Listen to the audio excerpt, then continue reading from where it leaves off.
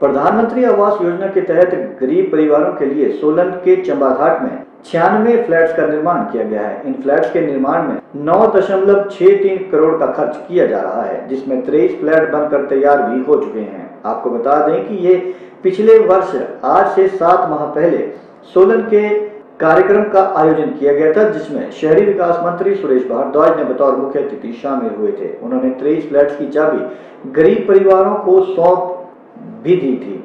भाजपा नेताओं ने चाबियाँ देते समय खूब वाहवाही लूटी थी और अपने आप को गरीबों का हितैषी बताया था, लेकिन हद तो ये है कि घर की चाबियाँ मिलने के सात माह बाद भी उन्हें घर का स्वामित्व नहीं मिल पाया है। सभी गरीब लोग अपने को ठगा सा महसूस कर रहे हैं। जब इस बारे में नगर निगम के कमिश्नर एल आर वर्मा से पूछा गया तो उन्होंने बताया कि कोविड संकट के वजह से कार्य पूरा नहीं हो पाया है, इसलिए फ्लैट्स गरीबों को सौंपे नहीं जा सके हैं। उन्होंने बताया कि इस जून तक फ्लैट्स का कार्य पूरा कर लिया जाएगा और गरीबों को फ्लैट्स की चाबी जल्द सौंप दी जाएगी। चंबा घाट में जो गरीबों के लिए घर बन रहे हैं सरकार की तरफ़ से उसमें हमारे पास करीब 48 फ्लैट्स बिल्कुल रेडी हो चुके हैं। 12 फ्लैट्स हमारे 30 जून तक रेडी हो जाएँगे। उसके बाद हम इसको आ, लोगों को समर्पित करेंगे। सर तेईस फ्लैट्स की चाबियाँ भी दे दी गई थी लेकिन अभी तक लोगों से जब हमारा इस बारे में संपर्क हुआ तो उन्होंने बताया कि अभी तक इन फ्लैट्स में जो है ना तो बिजली ना तो पानी इन दोनों चीज़ों की सप्लाई अभी तक शुरू नहीं हुई है। तो कब से ये चीज़ सुचारू होगी और कब से लोग रहना शुरू हो पाएँगे? जैसे कि मैंने आपको पहले कहा तीस जून तक ये हमारे लगभग बिल्कुल तैयार हो जाएँगे। ये अंतिम उसमें है।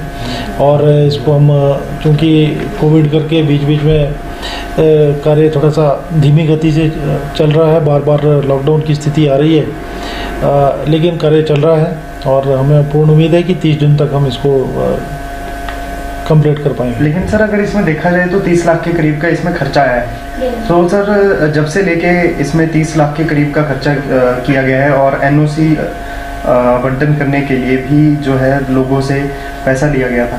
तो अभी तक सर कार्य शुरू नहीं हुआ है। तो आप नहीं मानते कि ये सारा पैसा बर्बाद हो रहा है? नहीं नहीं, ऐसा नहीं है। बीच में पिछले वर्ष की जो आप कह रहे हैं, उसके बाद कोविड की स्थिति थोड़ा सा विकराल हुई होगी। क्योंकि अभी अभी हमने तो इसको अभी टेक ओवर किया है। और जब से इसको टेक ओवर किया गया है, इसका पूरा ध्यान रखा जा रहा है। और इसको एक डेडलाइन के तौर पे इसको जो है तीस जून इसके लिए लिया गया है।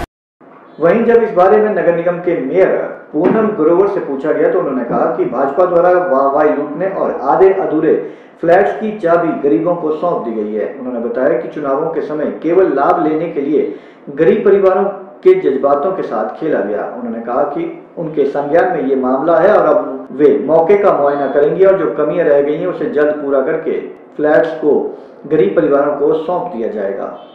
कानों का है, वो भी हमने इनको कहा है, वो भी हम साइड चेक करेंगे कि जो चाबियाँ दी हुई है लोगों को, और ये जल्दबाजी में दी गई है या राजनीति की गई है इलेक्शन टाइम था।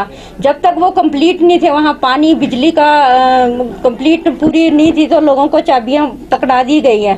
तो वो उन चाबियों को लेकर लोग क्या करेंगे? वहाँ जो जा ही नहीं सकते हैं। तो उसके बारे में भी चर्चा हुई है तो हमने इनको कहा है कि उसको अतिशीघ्र कंप्लीट करके जो है, उनको दो।